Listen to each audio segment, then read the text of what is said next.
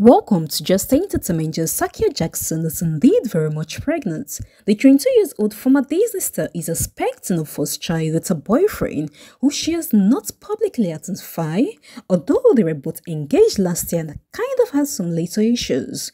According to Skai Jackson, I'm thrilled to begin this new chapter in my life, embrace the motherhood and diving into new acting projects, the Jessie star tells, My heart is so full and joyful. As a former Disney Channel star, Skai has grown up in public eyes and her fans are eagerly awaiting updates of her pregnancy journey.